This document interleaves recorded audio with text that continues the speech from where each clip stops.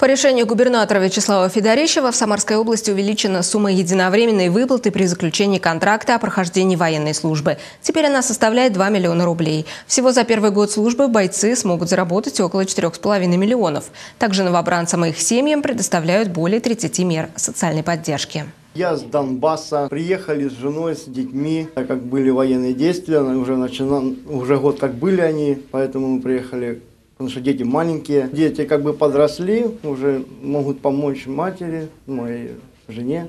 Вот, и то я согласился, чтобы поддержать своих. Потому что мой родной город сейчас в оккупации Укра... в Украине.